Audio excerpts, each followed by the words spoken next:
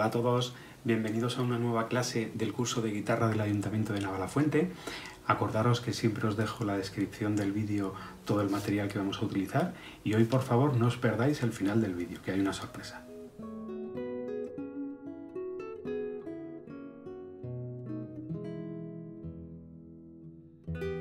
Hoy vamos a practicar esta canción popular americana que como es muy fácil la vamos a intentar hacer de dos maneras, una muy lenta otra para los que ya creéis que os la sabéis pues la vamos a tocar más rápida. Y vamos a aprovechar para hablar de los silencios que me habéis preguntado por ahí, que por cierto me encanta que me preguntéis cosas, así sé que estáis viendo los cursos y que estáis trabajando con la guitarra estos días. En la segunda parte vamos a ver los acordes que hemos utilizado y vamos a trabajar el contratiempo y también los silencios. También quiero compartir con vosotros otro proyecto que tengo. Se trata de un escape room musical que vamos a hacer de manera virtual a través de estos días con estos vídeos. Espero que os guste.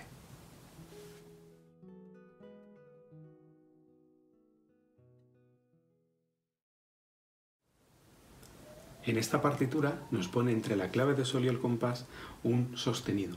¿Qué nos indica? Que todas las notas que se llamen Fa a lo largo de toda la canción son sostenidas. Es decir, un traste más.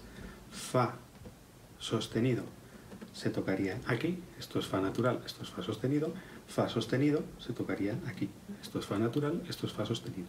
Eso es porque esta canción está en la tonalidad de Sol, acordaros, para que haya esa distancia de tono, tono, semitono, tono, tono, tono, semitono entre cada uno de los grados de la escala, en esta tonalidad nos sale la nota Fa sostenido y hay que ponerlo al principio de la canción.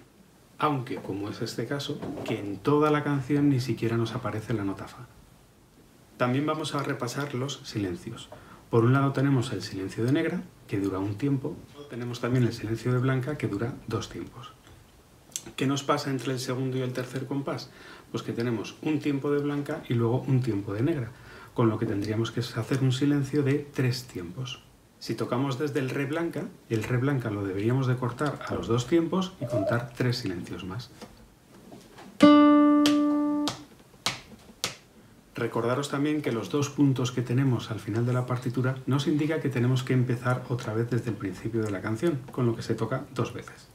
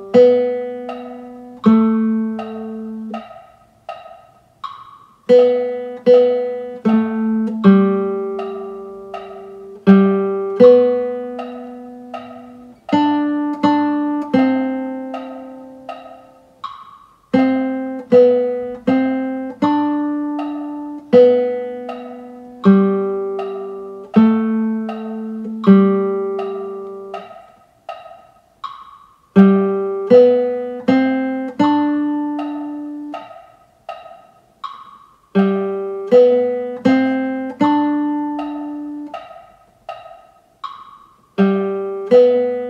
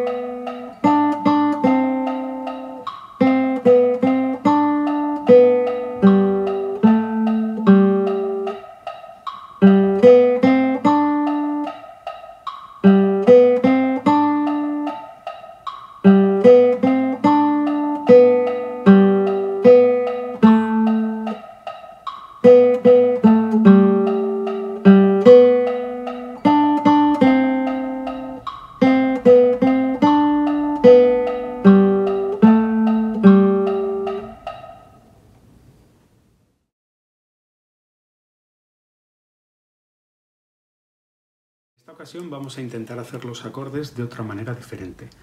Para ello voy a utilizar yo una púa, aunque también lo podéis hacer con índice y medio o con pulgar, y lo que vamos a hacer es tocar para arriba o para abajo en función de la parte en el compás que estemos.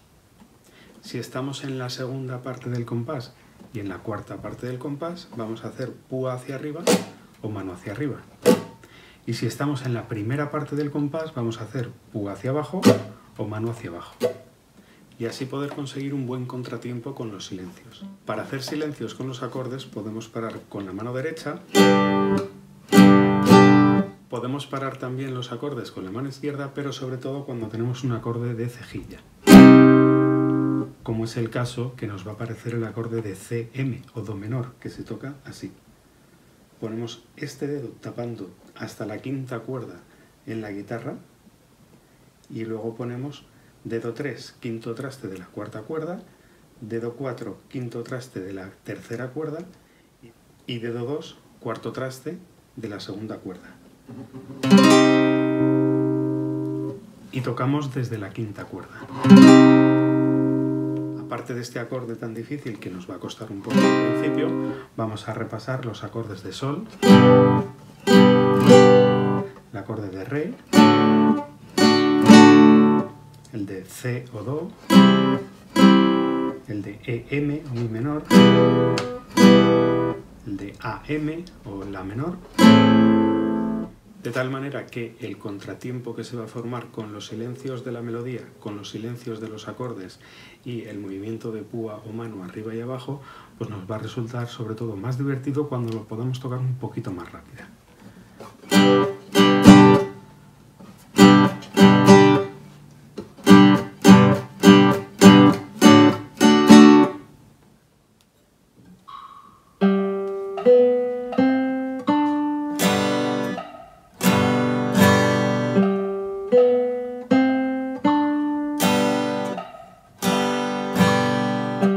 Como